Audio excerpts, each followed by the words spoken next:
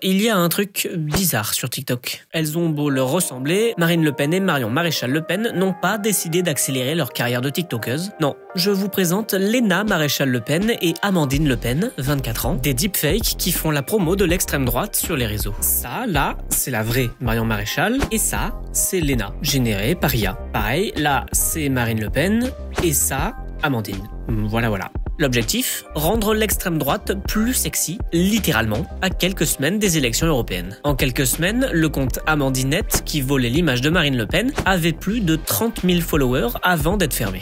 Corée, POV, playback, sur celui de Lena Maréchal, toutes les trendy passent. Sur un autre compte utilisant le même faux nom, Jordan Bardella est fétichisé dans plus de 40 posts. Après l'apparition d'Amandine et Lena, le RN et Reconquête ont réfuté tout lien avec les comptes anonymes.